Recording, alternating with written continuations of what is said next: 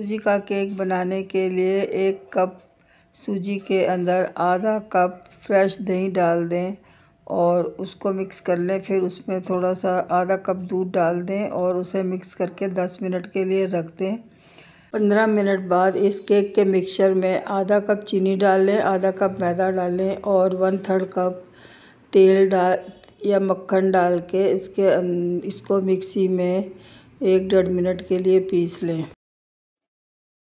Cake के mixer में एक चम्मच बेकिंग पाउडर डाल दें, एक चौथाई चम्मच बेकिंग सोडा डाल दें और थोड़ा सा वनीला एसेंस डाल के कढ़ाई को सात आठ मिनट पहले गर्म कर लें और पैंतालीस मिनट धीमी आँच पे केक को बेक करें।